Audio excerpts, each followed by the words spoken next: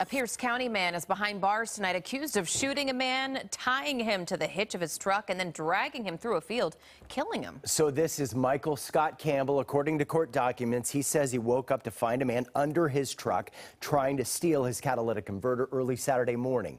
He says he shot the man twice, tied him to the truck, and dragged him, then left him in a field to die.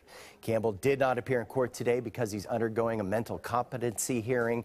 He's charged with second degree murder and kidnapping in the first degree.